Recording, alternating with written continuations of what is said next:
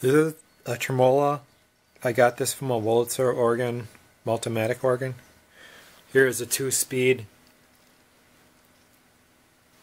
motor. And here's how I hooked it up. I just have it hooked up to my Yamaha amplifier. And you just have the green and the orange wire. Hook that up. And this is Sultans of Swing.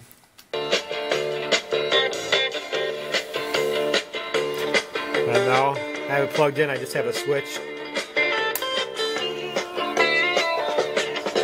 Get a shiver in the dark, it's raining in the park, meantime. Sound of the river, you stop and you hold everything. These speakers, they do handle a large amount of sound. Going Dixie, double fall time. Here's my amplifier, I'm just going to turn it up.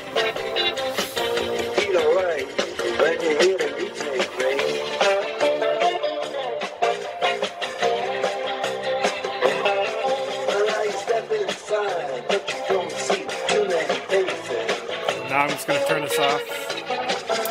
Coming in out of the rain and hear the jazz go down.